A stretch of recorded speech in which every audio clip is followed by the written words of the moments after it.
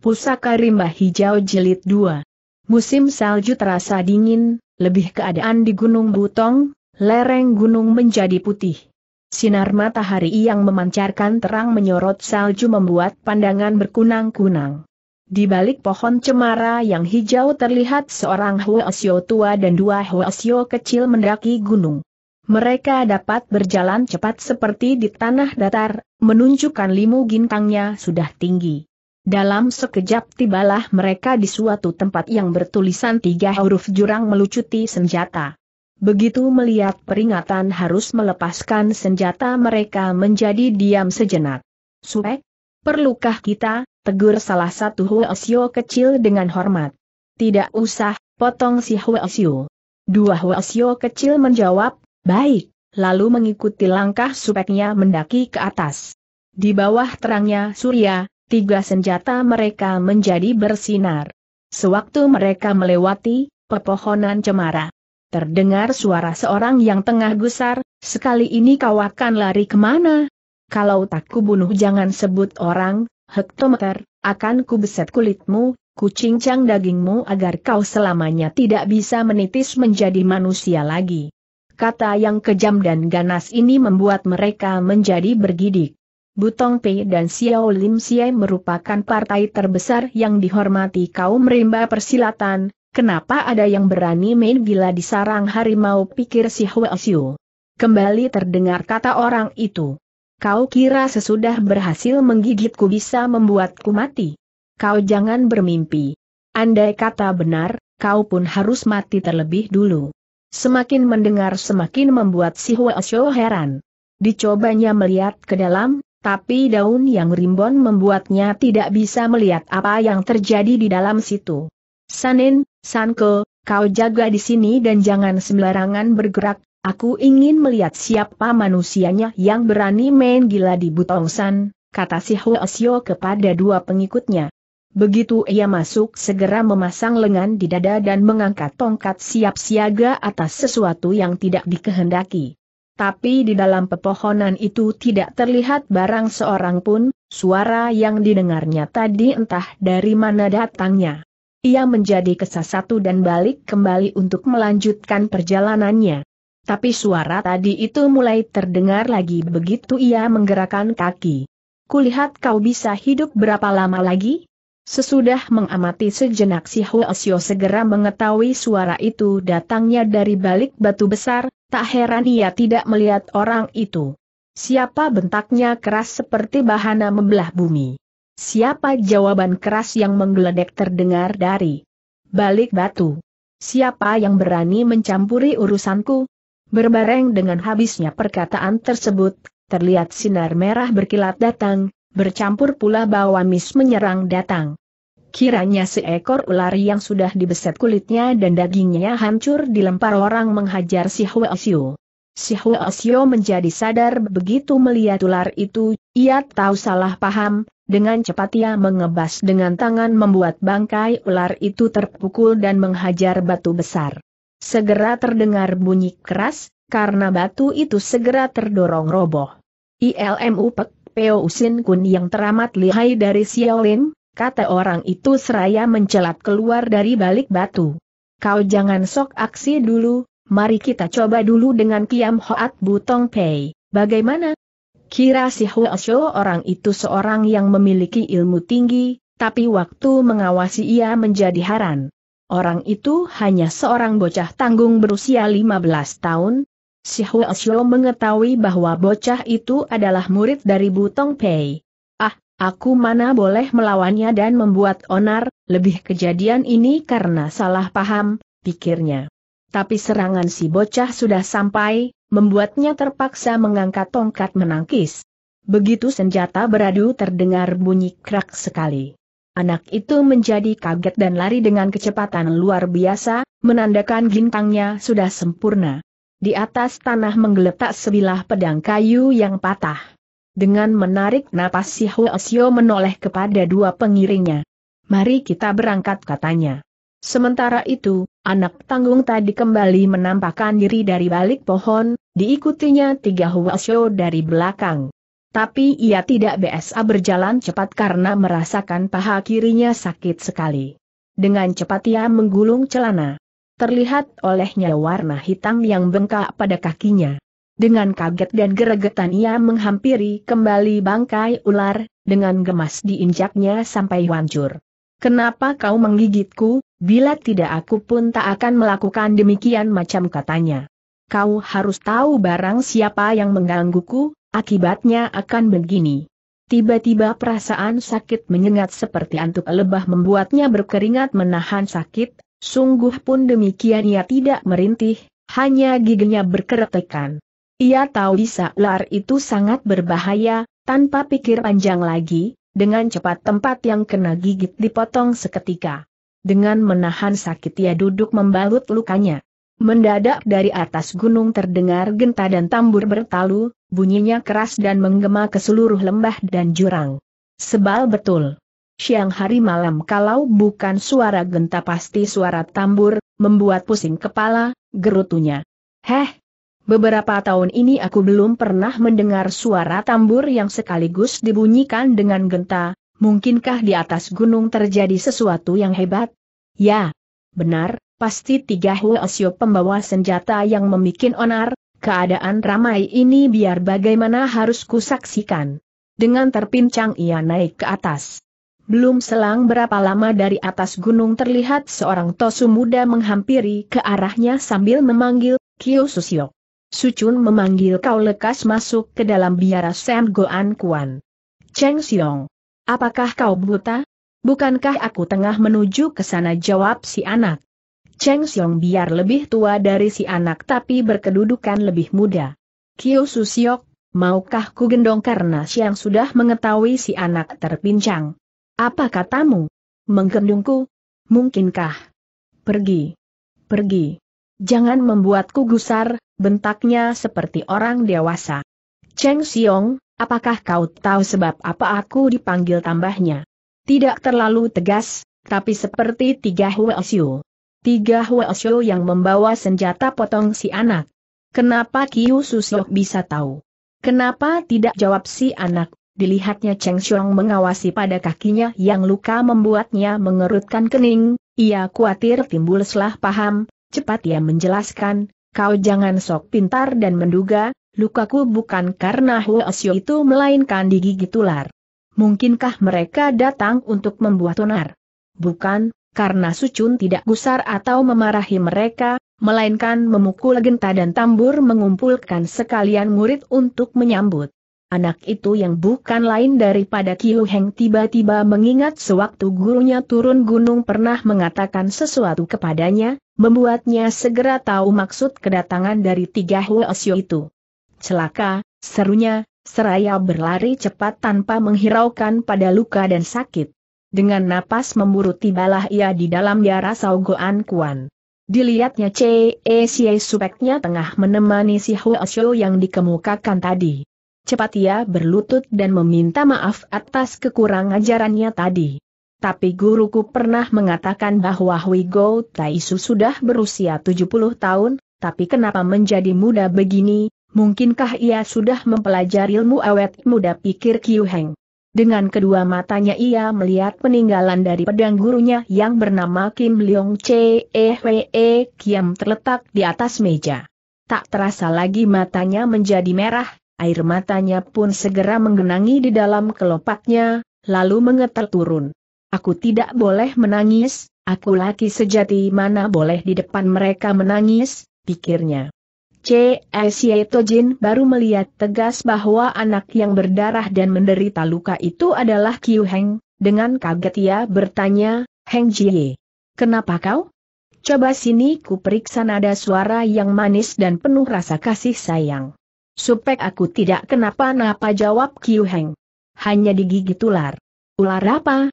Tidak ku tahu namanya, kata Kui Heng, tapi jangan khawatir tempat yang digigit sudah ku potong. Dengan kasih sayang C.E. Sie Tojin mengelus-ngelus kepala Kyu Heng. Heng Jie. Gurumu sudah. Aku sudah tahu, supek tak perlu mengatakan lagi, potong Kyu Heng. Aku tahu suhu sudah meninggalkan dunia yang fana ini, tapi tetap hidup di dalam hatiku. Aku tidak senang mendengar perkataan mati atau meninggal, pikirnya dengan sedih. Heng Jie, kata C. E. Xie Tojin, ini adalah Chun Chu Taisu, Chiang Bun Hang Tio dari Xiao Lim Xie. Kiu Heng menjadi kaget. Ia tahu dugaannya tidak salah, bahwa Huasio itu adalah ketua Xiao Lim Xie, tapi bukan Hui Go Taisu. Ia heran kenapa Xiao Lim Xie bisa mempunyai dua ketua, mungkinkah Hui Go Taisu sudah meninggal dunia seperti gurunya? Tapi kenapa pedang Kim Leong Che E Kiam bisa dibawanya? Tapi ia seorang anak yang pintar, tidak mau terpekur terus cepat-cepat maju memberi hormat. Terimalah, hormat Xiao Tue, katanya. Chun Chu Taisu berkedudukan sama dengan Kiu Heng, lekas membalas hormat. Sutee tak perlu memakai banyak peradatan. Bagaimana dengan Hoi Go Supek tanya Kiu Heng. Sudah pulang ke alam baka, potong Chun Chu Taisu. Karena itu Pin Cheng harus mengurus jenazahnya dan bersembahyang seratus hari, sehingga terlambat datang ke sini. Taisu, dapatkah menjelaskan siapa pembunuh guruku dan bagaimana kejadiannya kata Kiu Heng. Dalam hal ini Pin Cheng tidak tahu jelas, sewaktu Sian Su, membahasakan guru sendiri yang sudah meninggal, kembali dari Si O, sudah luka parah, beliau tidak bisa bicara seperti sedia kala tapi sebelum meninggal beliau mengatakan dengan terputus-putus seperti berikut, pedang panjang. Butong San. Kiu Heng, perempuan. Kata dari Sian Su ini sudah dipelajari baru ku tahu garis besarnya, begitulah sesudah beres berkabung, kami datang ke sini. Kiranya sesudah Hui Go Tai Su dicelakakan Pek Tok Tian Kun, menderita luka hebat. Si Huasio tahu dirinya akan mati, tapi dengan penuh daya kekuatan dan tak menghiraukan sakitnya, terus berjalan cepat menuju Xiao Lim Xie. Begitu tiba di tempat kediamannya, lukanya sudah parah betul, sebelum bisa menerangkan apa yang dialami dengan jelas sudah keburu menarik napas yang penghabisan.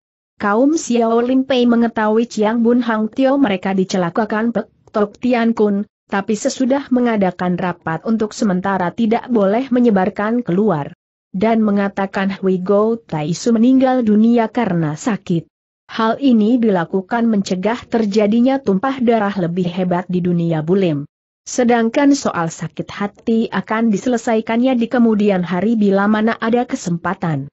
Begitu Kyu Heng mengetahui Hui Go Taisu mengatakan perempuan sebelum matinya, segera mengambil kesimpulan bahwa gurunya pasti dicelakakan perempuan. Tahukah Taisu siapa yang dimaksud dengan perempuan itu tegurnya? Pinceng tidak tahu jawab Chun Chu Taisu. Berapa orangkah yang turut ambil bagian dalam pertemuan di Xiao? Terkecuali dari Xiao Lim Xie dan Butong Pei, masih ada Hoa San Pei yang diwakili Liao Tim Sutai dan Pletok Tian Kun. Oh, kata Kiu Heng. Dalam empat orang hanya satu perempuannya. Hui Go Taisu pasti menunjuk perempuan itu adalah Liao Tim Sutai pikirnya. Tapi ia tidak memikir kenapa Hui Go Taisu menyebutkan Liao Tim Sutai dan hanya mengatakan perempuan. C. E. Tojin menyerahkan pedang Kim Leong. E. Kwe E. Kiam pada Kiu Heng. Itu adalah pedang peninggalan gurumu, tampaknya di dalam pedang bersembunyi rahasia besar, baik-baiklah kau jaga. Dengan hormat Kiu Heng menyambut pedang itu dengan kedua tangannya. Dilihatnya di serangka pedang tertera bunyi, kalau ingin tahu soalku terdapat di dalam pedang ini. Ia menjadi girang bercampur sedih, girang karena gurunya tidak melupakan pada sakit hatinya dan memberitahu. Sedih karena ditinggal gurunya. Dalam cemasnya, cepat ia mencabut pedang, tapi antara pedang dan serangkanya yang sudah ditekan Cie yang cincin dengan ilmu Kiu yang Sin Kang, sembilan kekuatan sakti, agaknya sudah seperti menjadi satu. Beberapa kali ia mencoba mencabutnya dengan sekuat tenaga. Sampai tangannya sakit belum juga berhasil menghunusnya. Ia menjadi malu dan buru keluar ruangan. Dalam bidang lain anak ini cukup baik, hanya adatnya terlalu keras dan angkuh, pikir C.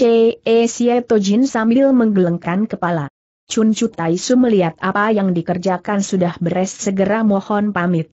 C. E. Xie Tojin tidak dapat menahan, terpaksa mengumpulkan semua murid Butong Pei menghantarkan kepergiannya Chun Chu Taisu dan dua pengiringnya. Hari ini Kiu Heng merasa tidak enak makan, seharian penuh ia menyekam diri di dalam kamar, waktu malam mendatang otaknya menjadi kacau dan berpikir-pikir tentang kejadian yang membuatnya masuk ke dalam suatu hidup sedih yang memilukan hati. Waktu itu ia baru berusia lima tahun, ia masih kecil tapi tidak bisa melupakan kejadian di suatu malam. Saat itu tidak ada bintang maupun rembulan, ia terjaga dari tidurnya. Sebelum bisa berteriak-teriak kaget, ada seseorang membekap mulutnya lalu melemparkannya keluar pekarangan dan tepat masuk ke dalam sumur. Ia tidak menangis, hanya merasakan bahwa manusia itu terlalu tidak mempunyai kebajikan. Sampai di mana ia kena ditolong gurunya dari dalam sumur. Tampak rumahnya yang enak dan hangat sudah menjadi puing dan berantakan. Baris berbaris malang melintang mayat yang tidak berkepala memenuhi pekarangan tempat bermainnya. Di antaranya terdapat jenazah dari kakeknya, ayahnya, ibunya, saudaranya, dan seluruh famili serta pengawal yang tidak kurang dari seratus orang. Di luar pintu tiang bendera yang biasa digunakan untuk mengibarkan bendera Wiebu Piao Kie, perusahaan pengawal barang Wiebu, berpancungan kepala manusia. Ia tidak menangis, hanya merasakan seluruhnya adalah darah, terkecuali darah masih tetap darah dan kelak ia akan meminta darah membayar darah. Renungannya berbayang terus, membuatnya tidak bisa tidur. Bintang sudah menyepi hanya tinggal satu masih. Terlihat berkedip-kedip. Ia mengerutkan kening sambil mengusap-usap pedangnya, dengan senjata ini ia akan melakukan tagihan darah. Ia girang dan mengucurkan air mata, lalu tidur sejenak, Sesudah itu dengan tergesa-gesa ia bangun, tanpa banyak pikir lagi ia keluar pintu, dilihatnya murid Butong belum pada bangun. Dengan tanpa pamit lagi ia meninggalkan Butong San. Musim semi di Kang Lam indah sekali, burung kenari bersiul sepanjang pagi, bunga indah menerbangkan bebatuan harum, dunia sudah beralih dari kebekuan musim salju dan kembali pada kesegaran baru. Dalam sekejap mata Kiu Heng sudah melewati tiga bulan dengan penghidupan baru yang tidak karuhan. Ia merantau ke sana kemari tanpa arah tujuan dan tibalah di daerah Chiat Keng. Tiga bulan ini membuatnya kecewa, dadanya seperti ditembus anak panah yang tak mengenal kasihan, hancur luluh pengharapannya. Kini, terkecuali dari ilmu pelajaran yang pernah didapat dari gurunya, tidak ada kemajuan lain yang diperolehnya. Ingin ia mencari orang luar biasa guna menuntut ilmu, tapi tidak ada daya untuk menemuinya. Sewaktu timbul niatnya kembali ke Butongsan, menuntut penghidupan yang menjemukan dan mempelajari ilmu yang tidak bisa dipergunakan melawan musuh. Tapi perasaan hati kecilnya terlampau besar. Sehingga pikiran itu sekali timbul segera tertekan hilang lagi. Pikirnya berbuat demikian itu tidak berguna dan bisa ditertawakan kawan seperguruan. Ia ingin kembali sesudah berhasil menjadi seorang yang berilmu tinggi, agar saudara seperguruannya merasa iri dan kagum. Mengingat demikian kekerasan hatinya semakin hebat, tanpa mengenal lelah ia maju terus dengan harapan besar. Pada suatu hari Kiu Heng tiba di kota Sincong, Pikirnya di kota besar demikian itu pasti tempat mengeramnya segala harimau dan naga. Tapi ia berpikir salah. Terkecuali dari kaum penjual silat, tidak didapatkannya orang berilmu tinggi yang dikehendaki. Sepuluh hari ia membuang waktu di kota itu dengan harapan hil. Hari ini ia pergi keluar kova untuk menghilangkan kesepian hatinya dan mengharap-harapkan ketemu orang luar biasa. Dengan langkah berat ia berjalan perlahan-lahan. Mungkinkah citaku tidak akan dikabuli alam? Kalau terus demikian macam, aku harus bagaimana pikirnya.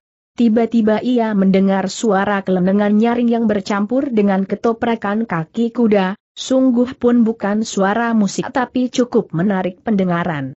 Dengan cepat penunggang kuda itu sudah tiba di hadapannya dan berhenti.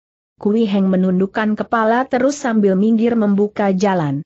Anehnya penunggang kuda itu tidak melanjutkan perjalanan. Ia dongak memandang, tampak seekor keledai yang kokoh dan hitam mengkilap, lalu melihat kelenengan yang tergantung di leher binatang itu, hal ini membuatnya kaget karena kelenengan itu terbuat dari kumala yang mahal. Penunggang keledai itu kalau bukan kaum bangsawan tentu seorang saudagar besar. Tapi kenapa berhenti di hadapan mukaku pikir Kiu Heng tidak mengerti. Untuk mencari jawaban ia menatap penunggang keledai itu. Ia menjadi kaget tapi tidak membuatnya berseru. Tampak penunggang keledai itu adalah seorang tua yang sudah putih rambut janggutnya, mukanya pucat tidak berdarah, barang siapa melihatnya pasti akan merasa gentar. Waktu pandangan Matuk Yuheng bentrok dengan sinar mata orang tua itu membuatnya menggigil tidak karuhan. Karena matanya si orang tua lebih banyak putihnya dari hitamnya, memancarkan sinar terang berkilat-kilat memaksa membuatnya takut dan menundukkan kepala. Dilihat dari tai yang hiatnya yang menonjol demikian macam, pasti seorang berilmu tinggi yang luar biasa, tapi kenapa demikian adem dan tawar? Mungkinkah, aku dapat memperoleh beberapa pelajaran darinya pikir Kiu Heng. Hektometer, kata si orang tua dengan dingin, seolah-olah menghina Kiu Heng seorang pengecut besar yang melihat matanya saja tidak berani. Mana bisa menjadi jago bulim di kemudian hari? Begitu Kiu Heng mendengar suara ejekan, perasaan hatinya segera tersinggung, cepat memandang dengan gusar dan penuh keberanian. Tapi si orang tua sudah merapatkan matanya, dan menjalankan lagi keledainya. Kembali suara keleningan dan ketoprakan kaki keledai terdengar nyaring. Entah bagaimana Kiu Heng seperti kena guna juga mengikuti terus di belakang keledai. Sewaktu tiba di sebuah rumah makan yang besar, keledai itu berhenti sendiri tanpa diperintah. Si orang tua membuka matanya, seolah-olah ia tahu bahwa Kiu Heng mengikutinya sedari tadi. Sedikit pun tidak menjadi heran, akan tetapi dengan sengaja tidak sengaja ia melirik beberapa kali pada si anak. Sekali ini Kiu Heng tidak takut seperti tadi. Ia memandang pula dengan tersenyum. Suatu senyum persahabatan yang manis dengan harapan mendapat kesan baik dari si orang tua. Tapi si orang tua seperti tidak melihat saja, sedikit pun tidak menunjukkan perasaan apa, ia berjalan perlahan-lahan. Ke dalam rumah makan dengan tenang sesudah turun dari keledainya. Lalu duduk di tempat yang sunyi dan menghadap jendela. Kiu Heng menjadi tertegun melihat pengawakan si orang tua karena kalau dirinya dibanting tidak sampai sepinggangnya. Sejenak kemudian ia pun membusungkan dada meniru lagak si orang tua masuk ke dalam. Sambil jalan otaknya sambil terpikir, orang tua ini jangkungnya luar biasa sekali tak ubahnya dengan bus yang kui, setan jangkung.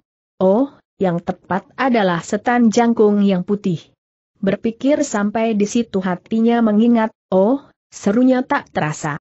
Cepat ia berhenti melangkah, wajahnya berubah ketakutan, dengan sinar mata cemas ia memandang si orang tua jangkung. Mungkinkah orang tua ini cungcu dari Ban Seng Chung yang bergelar Pek Busyang dan bernama Siang Siu pikirnya. Ia adalah seorang dari jalan hitam kelas wahid, dan ditakuti seluruh kaum bulim. Teringatlah gurunya sering menceritakan keadaan dunia rimba hijau. Ia ingat bahwa Pek Bus yang dilukiskan gurunya seorang yang berwajah tawar dan beku, tapi memiliki ilmu tinggi yang hebat. Sewaktu terjadi pertemuan di Tiantang ia menjadi jago tanpa tandingan, tapi akhirnya kena dikalahkan Jak Hiap Kong Tat. Sejak itulah ia menyembunyikan diri di pegunungan sepi, sehingga tersebar kabar ia sudah mati. Ah, tak mungkin dia, bantah Kyu Heng pada dirinya sendiri. Hei, Bocah apa perlumu datang ke sini, kau harus tahu inilah Cui Hang Ciu rumah makan burung hang hijau, yang terbesar dan kenamaan, kata pelayan rumah makan. Perkataan yang berbau menghina ini membuat Kiu Heng sadar dari lamunannya. Cepat ia merogoh sakunya yang masih mempunyai beberapa gelintir perak hancur. Tak peduli rumah makan yang bagaimana besar pun untuk makan sekali tidak menjadi soal, pikirnya. Lalu ia memandang kepada pelayan dengan garang. Tampak pelayan itu tengah mengawasi dengan metu yang menghina dan mengejek, hal ini membuatnya panas, dengan keras ia berkata, Hai, kau boleh sediakan segala makanan untuk Xiao Ya makan. Tiba-tiba ia merasakan perkataannya ini kurang tepat, Ia khawatir pelayan itu mempersukar dirinya dan memberikan segala sayuran sebanyak-banyaknya. Bagaimana jadinya kalau sampai tak kuat membayar? Bukankah ia harus malu di muka umum? Sungguh pun ia masih kecil tapi sudah mempunyai malu, lekas ia mengubah perkataannya barusan. Hai, jangan banyak, karena Xiao ya baru makan serunya. Kurang ajar, siang aku menemui setan pikir si pelayan, mana ada aturan sepiring nasi dibagi dua. Inginkah kau makan berdeo? Awas kalau kau anglap, perhitunganmu bakal salah. Pendeknya kalau kau tak bayar, kulitmu akan kubeset, gerendeng si pelayan di dalam hati. Tapi sewaktu ia memandang pedang panjang Kiu Heng, pikirannya menjadi berubah. Ah, bocah ini masih mempunyai pedang yang dapat digadai, gelagatnya aku tak bisa membeset kulitnya, Pikirnya lagi. Saat ini keadaan rumah makan tengah ramainya, tidak ada tempat kosong lagi. Hanya ada sebuah kursi yang masih kosong, yakni yang di sebelah orang tua jangkung. Tanpa memperdulikan Kiu Heng senang atau tidak, segera menunjuk kursi itu. Hal ini cocok dengan permintaan Kiu Heng, dengan gerang ia ke sana. Tak peduli ia seorang jahat yang menggemparkan. Bulim dengan kekejaman dan ketelengasannya, yang penting aku harus mencapai citaku. Tapi harus menantikan ketika baik. Bila tidak, bisa aku mati konyol secara kecewa, pikirnya. Si orang tua makannya sangat lambat, seperti tengah mempunyai urusan lain yang maha penting, dan terpancang pula seperti menantikan seseorang. Sehingga Kiu Heng yang semeja dengannya tidak pernah dianggap ada. Perlakuannya yang demikian adem dan kecut, Seolah-olah di dalam dunia ini terkecuali dia sendiri tidak ada orang kedua lahir hidup, membuat sekali pandang sudah nyata bahwa ia bersifat menyendiri. Sesaat kemudian orang tua itu berdehem dua kali. Kiu HRNG menengok, hatinya menjadi terkejut, dua mata si orang tua yang bersinar tajam dan dingin menatap ke arah pintu tanpa berkedip, mukanya yang beku dihiasi senyum dingin yang getir, Kiu Heng yang pintar segera menduga bahwa di rumah makan ini akan terjadi onar hebat, cepat ia memandang keluar. Ia menjadi heran karena tidak ada sesuatu yang menimbulkan kecurigaannya, otaknya menjadi heran tak mengerti. Tiba-tiba dari arah luar dua kuda yang berlari cepat datang ke rumah makan, penunggangnya sudah turun dengan cepat dan berdiri berjajar di depan pintu. Yang berdiri di sebelah kiri adalah seorang tua botak, yang berwajah welas asih. Wajahnya merah bersinar lengannya memegang tongkat besi. Yang panjang. Yang di sebelah kanan adalah seorang tua gemuk yang tembam, perutnya gendut, lengannya memegang kipas yang digoyang-goyangkan. Sungguh pun mereka sudah tua tapi semangatnya masih gagah, gerak-geriknya sangat lincah, sinar mata mereka tajam menyapu sekeliling, Sekali lihat pun orang akan tahu bahwa mereka adalah jago yang berkepandaian tinggi. Bukankah mereka ini yang bergelar Tian Lam Sam Ce, tiga bintang dari Tian Lam, yang botak itu pasti Siu Ce Kong Se Lam San dan yang gemuk adalah Hok Ce Kong Sin Tong Hai. Mereka tinggal di daerah Tian Lam, kenapa bisa datang ke Chiat Keng? Ah, apa hubungan mereka dengan si orang tua jangkung? Kalau begitu biar si orang tua jangkung berilmu bagaimana tinggi pun mana bisa menang melawan mereka berdua pikir Kiu Heng. Entah bagaimana perasaan khawatir atas keselamatan si orang tua jangkung timbul di hatinya.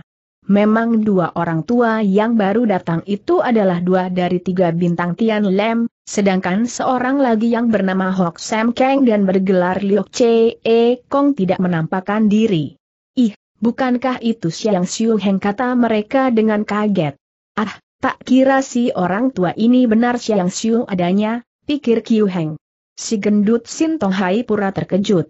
Airih, serunya, kita seperti buta saja.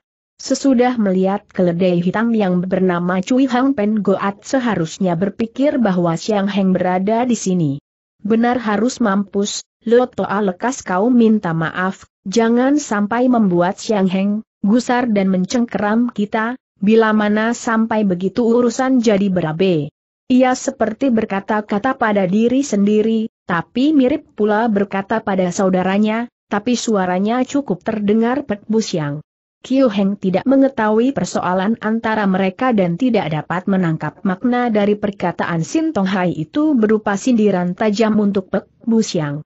Pek Busyang ini benar kenamaan sekali, sampai Tian Lam Sam Ce yang menggetarkan empat penjuru masih merasa jeri, pikirnya. Xiang Heng sehabis berpisah pasti baik saja bukan? Masih ingatkah dengan kawan lama? 30 tahun kita berpisah, Tampaknya Xiang Heng masih tetap sejaya dulu, bahkan ku yakin ilmu Paikut Sin Kang, ilmu tulang kering, sudah diyakin sampai taraf sempurna, kata Siu Ce E Kong Se Lem San sambil membungkukan tubuh. Bu Xiang Xiang Siu membalas hormat tanpa berdiri. Tak kukira Tian Lam Ce E yang kenamaan di masa lalu. Bisa berubah menjadi Tian Lam Sam Chiu, tiga badut dari Tian Lam.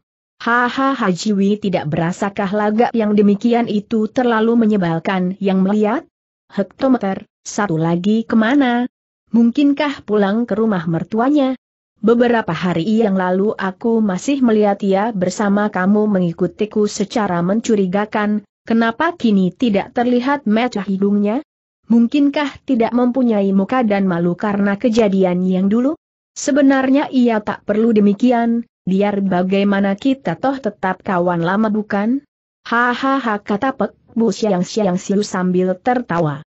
Biar ia berkata-kata demikian banyak, mulutnya tidak terlihat bergerak-gerak, karena ia mengeluarkan suara dari hidung, apa yang diucapkan kedengarannya, tak sedap sekali dan menusuk pendengaran. Kiu Heng pertama kali mendengar ia berkata-kata.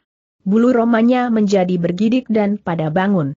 Sesudah selesai ia berbicara, Kiu Heng baru merasa tenteram kembali. Se Lam San dan Sin Tong Hai merasa malu dan jengah, karena dalam beberapa bulan ini mereka membayangi pada Siang Siu. Pikir mereka tidak diketahui, siapa tahu perbuatan mereka, Siang sudah diketahui. Karena perbuatannya dibuka dan membuat mereka malu atau dikarenakan perkataan Siang Siu yang demikian kasar dan sombong membuat mereka gusar.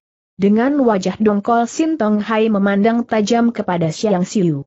Se Lam San lebih tenang dari saudaranya cepat memberi tanda dengan mata lalu ia tertawa, kalah menang dalam perkelahian adalah soal biasa, lebih kami yang berupa bintang kecil berkelap-kelip mana bisa menang melawan Xiang Heng yang terang seperti matahari?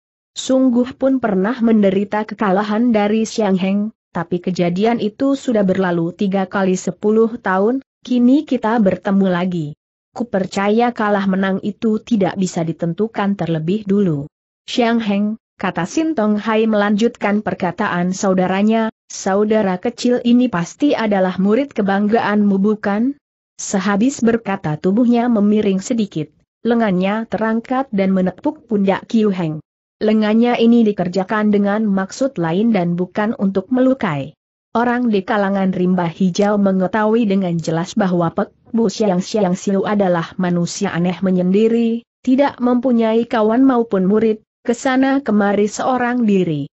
Pendeknya bila mana orang yang tidak mempunyai hubungan dengannya, biar mati di depan matanya, tak akan ia menolong.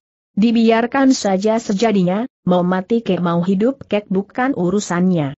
Kehidupannya itu demikian terus adanya dan belum pernah dilanggarnya atau dikecualikan. Sintong Hai melihat Kiu Heng yang serupa dengan anak jembel berada di dalam rumah makan yang mewah dan duduk di sebelah Siang Siu yang terkenal sebagai orang kejam nomor wahid, sehingga merasa heran dan ingin tahu. Karena itu lengannya yang ditepukan pun tidak menggunakan tenaga besar. Jika anak ini bukan murid Siang Siu, pasti tidak akan ditolongnya, Mana boleh meninggal dengan konyol di tanganku, pikir Sintong Hai. Kiu Heng mana tahu si gemuk mempunyai pikiran demikian, begitu melihat tangan datang ke arahnya menjadi terkejut, sekali. Celaka, biar aku belajar sepuluh tahun lagi mana bisa melawannya, pikirnya. Ia ingin mengegos tapi menjadi urung, karena ia berpikir lagi, aku ingin melihat apakah ia akan dam saja melihat kematianku, dengan tenang Kiu Heng berduduk terus seperti tidak melihat apa yang tengah mengancam dirinya. Entah bagaimana Xiang Xiu yang biasanya tidak mencampuri urusan orang segera menggerakkan lengan kanannya dengan kecepatan kilat. Tentu saja membuat Sin Tong Hai tidak habis mengerti.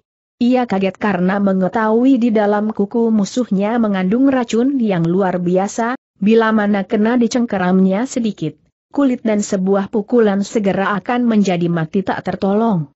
Tanpa ayah lagi ia mencelat beberapa tombak, sungguh pun berhasil menghindarkan diri dari bahaya, keringatnya mengucur deras, tanda kagetnya. Pengemis kecil ini pasti muridnya Xiang Xiu, pikir Sin Tong Hai begitu melihat musuhnya bergerak. Padahal ia tidak tahu bahwa Xiang Xiu sudah melakukan kekecualian atas tradisi. Yang dilakukan.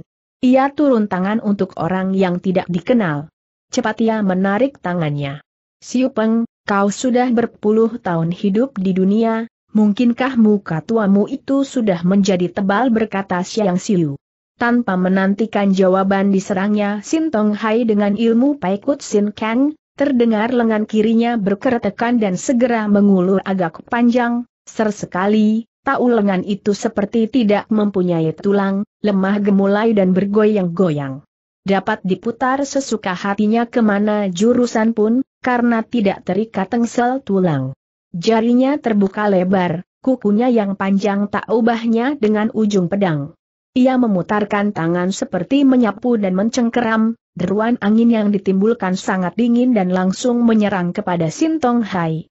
Dengan kecepatan kilat ilmu kipasnya yang bernama Taipu Te E San Hoat dilancarkan cepat, Ujung kipas yang tajam digunakan seperti pedang, menabas lengan Pek Busyang. Tanpa mengegus atau mengganti jurus, Pek Busyang bersenyum dingin secara angkuh, seolah-olah serangan musuhnya itu tidak dipandang sebelah mata. Sehingga membuat Sin Tong Hai bertambah gusar. Sewaktu kipasnya sampai di tengah jalan, segera mengempos semangat menambah tenaga dan berhasil mengenai lengan baju musuhnya. Saat inilah Xiang Xiu terbahak-bahak. Lengannya bergoyang halus seperti ranting pohon dan berputar cepat menghindarkan serangan musuhnya, sesudah itu sebuah lengan kirinya melakukan serangan balasan tidak kalah cepatnya mengarah tenggorokan. Sin Tong He cukup berpengalaman dan sering menghadapi musuh besar, begitu merasakan serangannya yang hampir berhasil mengenai tempat kosong, segera sadar keadaan tidak baik, Perutnya segera dikembungkan, bagian atas dari tubuhnya segera mental ke belakang. Tak kira lengan Bus yang kembali berbunyi dan bertambah panjang lagi. Keruan saja Sin Tong Hai bertambah kaget, untung masih keburu ia menjalankan jurus Tiat Pan Kiao, tubuhnya melengkung ke belakang dan mental seperti terlepas dari rintangan. Brek terdengar suara pecah. Kiranya Sin Tong Hai biar berhasil menghindarkan diri dari serangan musuh, tapi bajunya kena tersobek. Sehingga bagian dadanya yang gemuk tampak keluar, ia kaget dan pucat mukanya, dengan bengong ia berdiri di samping. Kiu Heng merasa kaget dan girang. Ia merasa kagum pada kepandaian Pak Busyang. Kalau ia mau memberikan beberapa pelajarannya ini bukan main baiknya, pikirnya dengan penuh pengharapan. Loye kata Selem San, kepandaian Xiang Heng nampaknya bukan menjadi tandingan kila, maka itu tak perlu heran kalau Sam menderita kekalahan di tangannya. Kulihat jiwa orang yang pandai dan pintar, karena itu kuminta kalau bicara sebaiknya terangan saja, jangan ngelantur berputar-putar seperti lagak nenek tegur Pek Busyang. Bagus kata Sin Tong Hai, kalau begini tidak siap perjalanan kami. Eh, katanya Siang Heng memiliki Sam Chun Giok Che yang serupa dengan julukan kami, karena itu, kata Sintong Hai. Oh, kiranya kamu jauh mengintil terus ingin memperoleh benda ini, kata Pek Bus yang seraya tergelak-gelak. Memang Sam Chun Giok Ce itu ada padaku. Lalu dikeluarkan dari dalam kantongnya. Tatkala ini sekalian orang merasakan mata mereka menjadi terang, tampak di atas meja berdiri dengan baik sebuah patung kumala hijau yang tingginya lima dim, Ukirannya yang demikian indah membuat patung itu seperti hidup. Sinarnya yang menyilaukan dan bagusnya yang membuat kagum. Benar benda antik yang tidak ternilai. Selem San dan Sin Tong Hai adalah orang Kengou yang berpengalaman, tapi seumurnya belum pernah melihat benda semacam itu. Benar benda langka yang tidak ternilai, kini hitung kami tidak siap berjalan jauh, karena bisa membuka mata melihat benda mustika, pikir mereka seraya melangkah mendekati. Pek Bus yang cepat menyimpan kembali Sam Chun Giok Ce ke dalam sakunya. Sebenarnya benda ini adalah warisan dari Jiet aku. Kemudian entah bagaimana bisa berada di dalam istana raja. Beberapa bulan yang lalu dengan memeras tenaga dan mengadu jiwa aku berhasil mengambilnya kembali, katanya sambil larak lirik. Sesudah itu melanjutkan lagi perkataannya, benda ini semacam benda pembawa sial. Waktu JT aku memperoleh benda ini dua bulan entah bagaimana tahu-tahu menjadi mati, andai kata kamu tidak percaya bahwa benda pembawa sial, tidak halangan, hahaha, karena masing-masing memperolehnya bukan dengan jalan yang benar. Selem San merengut, lalu mengambil teko arak dengan tenaga luakangnya dibuatnya arak mendidih dan keluar melalui mulutnya seperti air mancur masuk ke dalam dua cawan, lalu mengangkat sebuah cawan dan berkata, Mari. Xiang Heng, Xiao Tei meminjam marak menghormati dirimu dan meminta petunjuk juga darimu. Tanpa bangun atau berdiri Pek Bu Xiang mengangkat cawan menyambut cawan arak itu. Ah, jangan. Memberabekan. Haha. Arak dari Sei Heng mungkin adalah yang ternak diminumnya katanya mengejek. Tampak dua cawan dibenturkan tanda dari menghormat sekali-kali tidak menerbitkan suara, melainkan menjadi nempel dan tidak bisa dipisahkan. Kiu Heng tahu bahwa mereka tengah mengadu luwakang, masing-masing memusatkan tenaganya ke dalam cawan. Seketika berlalu, tampaknya kalah menang sudah mulai terlihat. Rekbus yang masih tetap duduk seperti semula sedangkan ilmu Paikut Sin Kang sudah disalurkan ke dalam cawan sehingga arak itu menjadi beku. Sedangkan Selem San sudah berkeringat. Ubin yang dipijaknya sering memperdengarkan suara berkeretek. Gelagatnya arak yang dibikin mendidih oleh tenaga dalam sudah kembali menjadi dingin, dan pasti perlahan akan menjadi es seketika kembali berlalu tiba-tiba arak di dalam cawan Selem San mendidih lagi, seperti tenaganya belum dikeluarkan semua, dan kini baru digunakan. Rekbus yang menggigil juga dibuatnya. Dengan cepat ia memejamkan mata. Tampaknya tengah memusatkan tenaga dan semangat menghadapi musuhnya. Kiu Heng merasa senang pada Pek Bu Xiang, lebih sesudah mendapat pertonannya, begitu melihat keadaan Pek Bu Xiang terdesak, segera timbul akal bulusnya. Dua tangannya menekap mulut seperti mau bersin. Hacih sekali sikut kanannya dengan wajar menusuk ke bawah ketiak Selemsan dengan telak. Hal ini di luar dugaannya. Tak ampun lagi mahiatnya seperti kena ditotok, ia merasakan sekujur tubuhnya menjadi kaku dan hilang kekuatan tenaganya. Berbareng dengan ini terdengar terang, dua cawan yang merapat tiba-tiba menjadi berpisah. Selem San menjadi pucat, tubuhnya terhuyung-huyung sesudah berdiri tetap segera meminum araknya. ILMU Siang Heng luar biasa sekali, aku mengaku kalah, tapi kalau Siang Heng tidak keberatan, Esok malam kita bertemu lagi di kuil Kuan Te Bio yang berada di puncak Ce In Hang di Oayesan. Di situ kami bertiga akan meminta pelajaran lagi pada Siang Heng dengan menggunakan Sam Ce Pan Atin, barisan tiga bintang menemui rembulan, bagaimana tanyanya terpaksa. Pek Bu Siang memandang pada Kiu Heng. Ia tidak menjawab, tapi meminum araknya. Kiu Heng cukup pintar. Ia tahu bahwa Pek yang meminta dirinya menalangi menjawab. Sungguh pun ia merasa heran, tapi dengan cepat sudah menjawab, baik.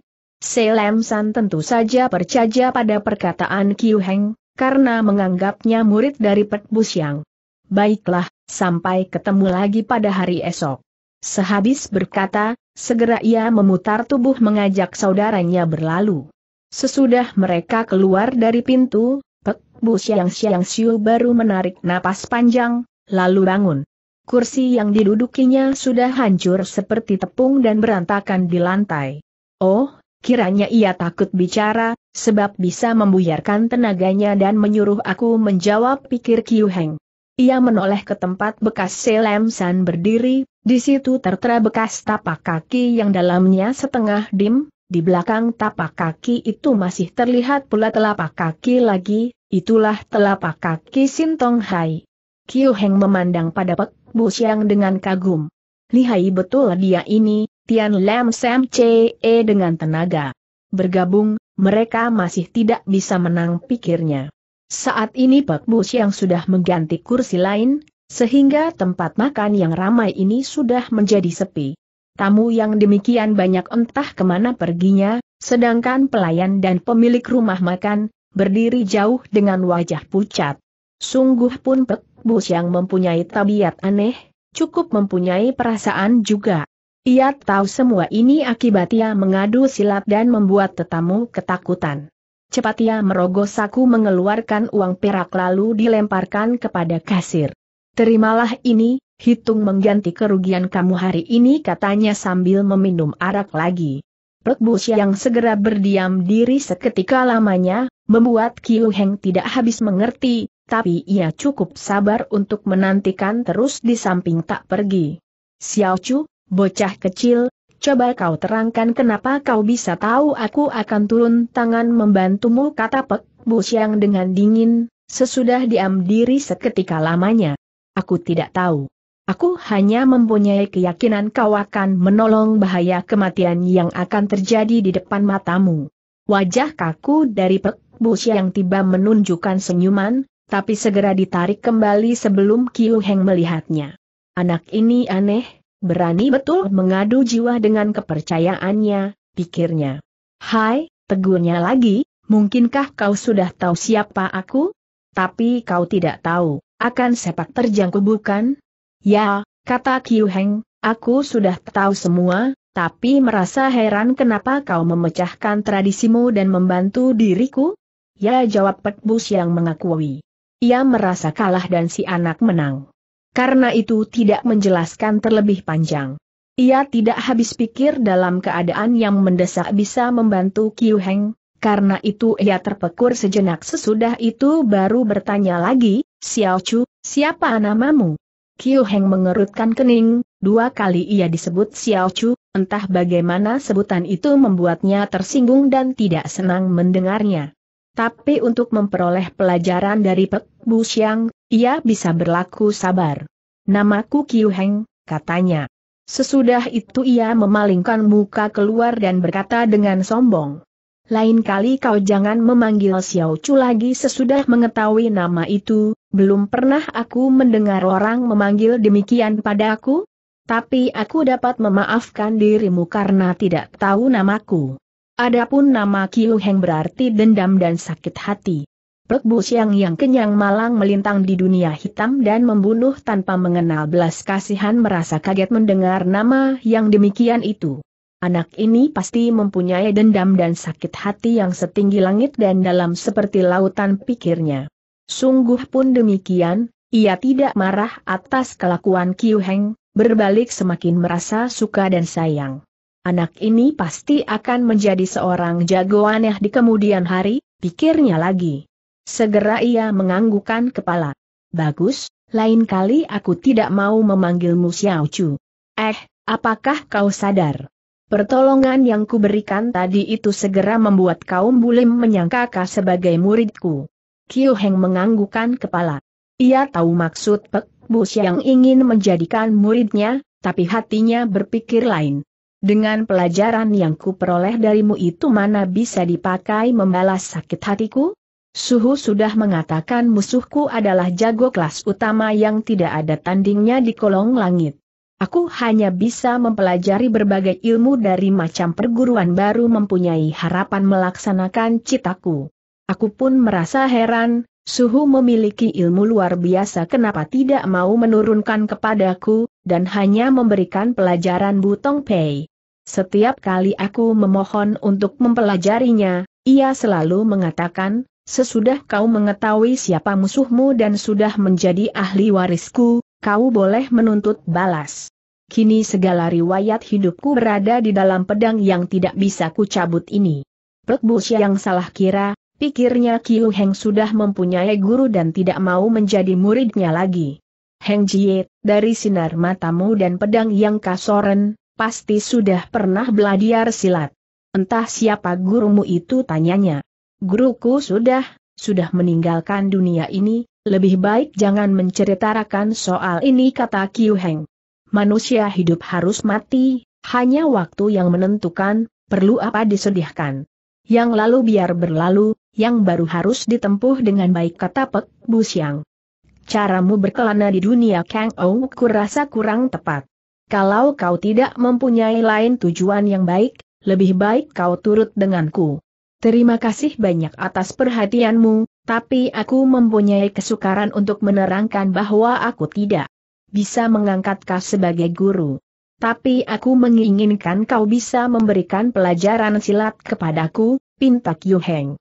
Pek yang menjadi kaget. Hektometer. Mungkinkah aku tidak cocok menjadi gurumu? Kau harus yakin inilah hokiemu, Orang lain biar memberi soja kepadaku tidak akan kuterima menjadi murid. Katakan, katakan, apa kekuranganku? Xiao Chu, jika kau tidak mau aku pun tidak memaksa dan jangan bebelian betul, lekas kau enyah dari mukaku. Lucu. Kau kira dirimu ku perlukan betul? Pergi ya pergi kata Kiu Heng seraya menjengkat keluar. Pek yang berpuluh-puluh tahun malang melintang di dunia Kang Ou, belum pernah mendapat kesukaran seperti sekarang, karena dongkolnya sampai tak bisa bersuara. Setelah lama baru berkata, Xiao Chu. Berani betul kau melawan lohu, bosan hidup barangkali. Lengannya segera terangkat, tulangnya berkeretek nyaring, ilmu beracun dari Pai Kut Sin Kang segera akan dilancarkan untuk merenggut nyawa Kiu Heng. Dengan gagah dan tidak takut, Kiu Heng berdiri di depan pintu, seolah-olah mati dan hidup tidak dipikirkan. Pek yang menjadi urung melihat keadaan ini. Ia merasa heran atas dirinya sendiri. Sejak ku kenal urusan, belum pernah berlaku seperti sekarang, kenapa aku bisa ragu dan hilang kekerasan hatiku, mungkinkah sebab berjodoh dengan anak ini pikirnya. Lengannya segera diturunkan. Kau pergilah. Tapi awas, kalau kedua kali berjumpa denganku, jiwa kecilmu akan tamat riwayatnya. Dengan cepat Kiu Heng meninggalkan rumah makan. Kenapa? Kenapa demikian hatinya bertanya-tanya, seorang golongan hitam yang terkenal kejam dan telengas bisa memperlakukan aku demikian baik. Sebenarnya Pek Bu Siang pun mengalami pertanyaan yang tidak bisa dijawab, kenapa ia bisa berbuat demikian. Hatinya menjadi ragu. Mungkinkah dalam pertemuan kedua bisa tega menurunkan tangan jahat kepadanya pikirnya. Sambil menghela napas panjang ia meninggalkan kursinya. Baru saja sampai di depan pintu, tiba-tiba dari arah luar datang seorang yang terhuyung-huyung dan tepat berbenturan dengannya. Pek yang mengira sedang diserang, sehingga menjadi kaget. Tapi sesudah merasakan benturan orang itu demikian lunak tak bertenaga, hatinya menjadi tenang kembali. Diawasinya orang itu yang beralis pendek dan hidung kecil, mulut lebar, badan panjang, usianya lebih kurang 40 tahun, matanya saja tak bersinar, dari mulutnya menyembur bau arak. Pikirnya segala pemabukan ini gila betul, lalu tidak memperhatikan lagi, cepat minggir dan pergi keluar. Keledai hitam begitu melihat majikannya keluar segera mendekati, dengan nailman keledai itu menggosok-gosokkan kepalanya ke pinggang tuannya. Pek yang merasakan napas keledainya panas betul. Ia menjadi terkejut, otaknya segera memikir sesuatu, sedangkan tangannya merogoh saku. Celaka serunya, karena Sam Chun Giok Ce yang di dalam sakunya sudah hilang tak berbekas. Dengan gusar ia mencabut senjatanya yang berupa elokan hijau. Di atasnya tertulis delapan huruf yang berbunyi, kalau Pek Bus yang tiba, segala urusan menjadi habis. Copet Jahanam, berani betul menimpa barangku gumamnya seraja cepat mencari orang mabuk tadi. Tapi orang yang dicari sudah hilang tanpa bayangan. Tunggulah hukumanmu, katanya di dalam hati. Sesudah selesai mengurus pertemuanku dengan Tian Lam Sam Chee, biar kau lari ke mana pun akan ku kejar, tubuhmu akan kuhancurkan. Cepat ia mencemplak keledainya, kelenengan berbunyi, makin lama makin jauh dan hilang dari pendengaran. Malam bulan purnama, keadaan di Ce In Hang di depan Kuan Te Bio tengah berlangsung pertandingan hebat yang jarang dapat disaksikan di dalam dunia Kang.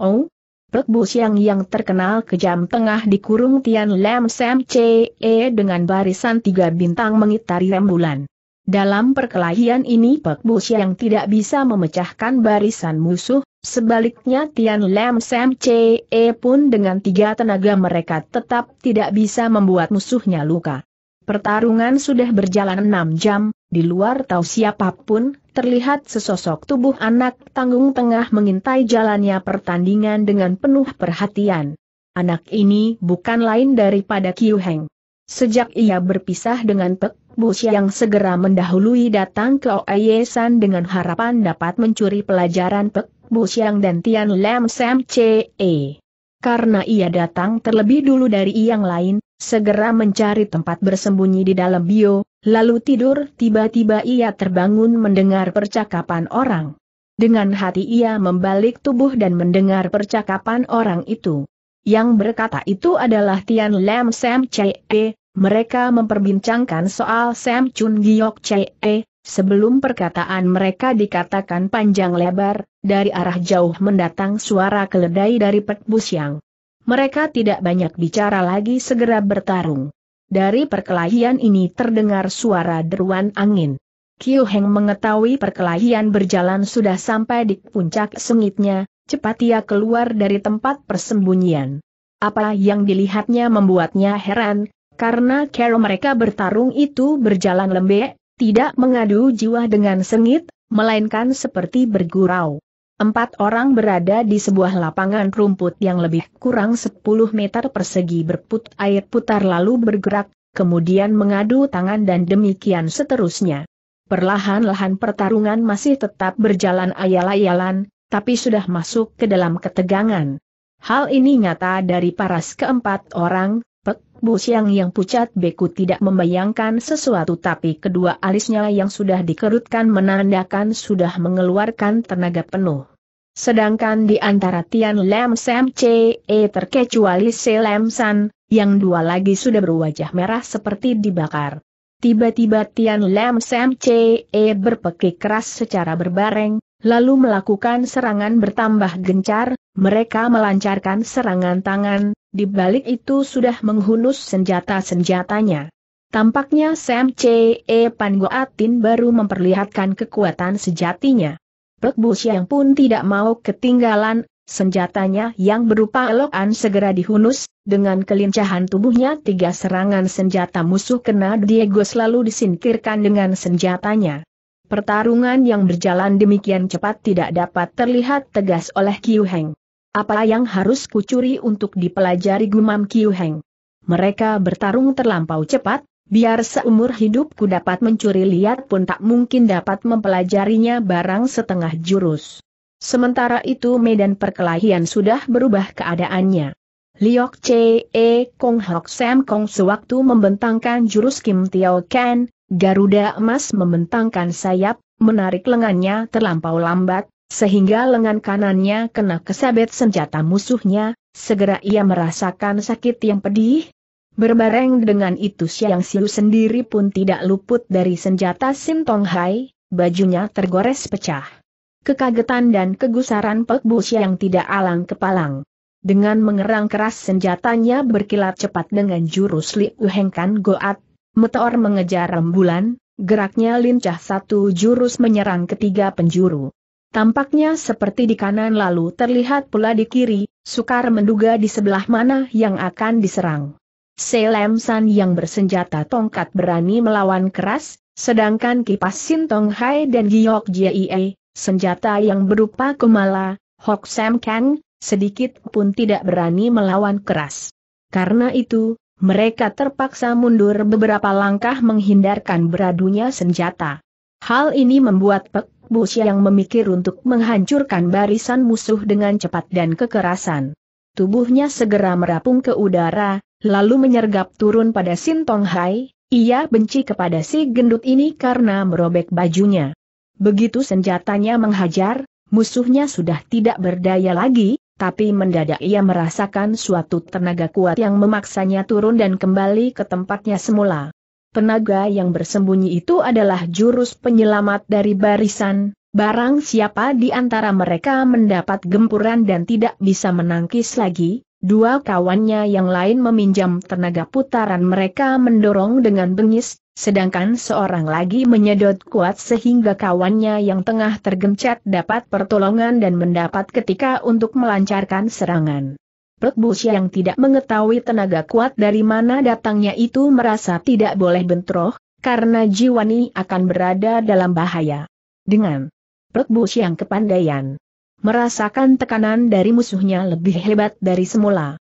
Senjata tongkat dari Selemsan kekuatan Sedangkan serangan dari Sintong Hai, Hok Sam Kang, Bung menjadikan tekanan. Titik. Pek Bu Siang Siang Siu, Ki senjata eloan. Lan Pai Kut Sin Kang, seketika terdesak dan keteter. Seketika berlalu, wajah pucat dan beku dari Pek Bu Siang mengeluarkan keringat, otaknya berputar keras untuk memecah barisan. Ia tahu bila mana bisa keluar dari kurungan berarti bisa memperoleh kemenangan. Xiang Heng, sebenarnya kita adalah kenalan lama di dunia buing, untuk apa ma, ya, karena Gan. Mendapat, tiga musuhnya memperhatikan. Enya Meng, sehingga berhasil. Menjadi girang, girangnya selesai dengan matanya silau. Karena Giok Jie musuh hampir tiba di perutnya. Ia mencoba menangkis dengan senjatanya, apa mau dikata serangan musuh lain sudah berkesyur di belakang tubuhnya.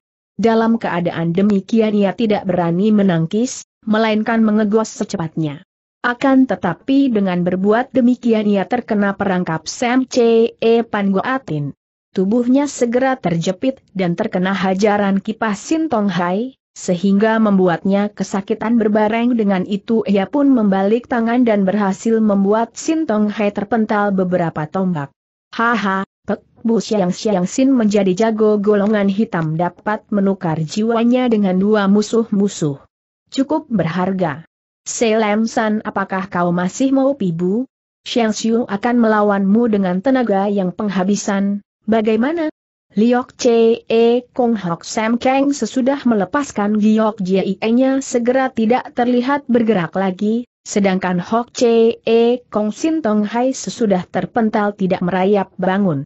Hal ini membuat Siu Che E Kong Se Lam San menjadi tertegun, ia tahu lebih banyak celakanya daripada baiknya nasib kedua saudaranya itu. Ia tersenyum meringis.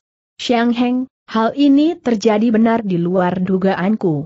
Kau, silatkan kau pergi, aku biar bagaimana tidak mau mengadu jiwa habis-habisan.